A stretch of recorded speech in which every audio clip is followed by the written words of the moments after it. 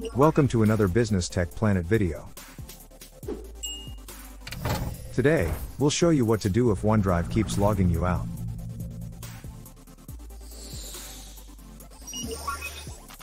First, we'll give you the common causes for the error. Then we'll show you how to resolve the problem by clearing your cached credentials. And then we'll try to disable the required sign-ins. There are several factors that can cause OneDrive to sign you out.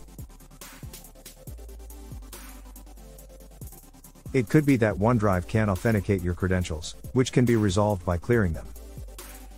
It might also be that required sign-ins are enabled every time you boot up Windows.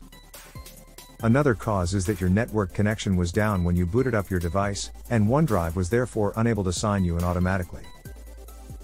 Or it could be that a Windows update has caused OneDrive to sign you out. In this video, we'll show you how to resolve the problem if it's being caused by an authentication issue, or if required sign-ins are enabled.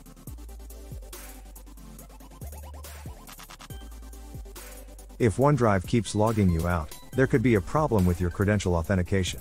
To clear your cached credentials, start by typing credential into the Windows search bar. Then open the Credential Manager. Next, click the Windows Credentials tab. Then head down to Generic Credentials, and look for any that are associated with OneDrive. Click them, then select Remove at the bottom.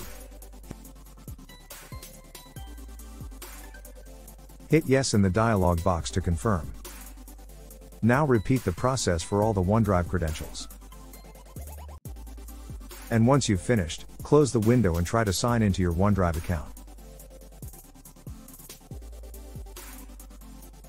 Although required sign-ins relate to signing back into your device, it could also have an effect on your OneDrive. So disabling or increasing the away time for required sign-ins may help to resolve your problem. To begin, go to Start. Then hit Settings. Next, go to Accounts on the left. Then select Sign-in options. Under Additional Settings, you should see an option that asks if you've been away, when should Windows require you to sign in. Click the Select box. If you're using your device in a secure location, select Never.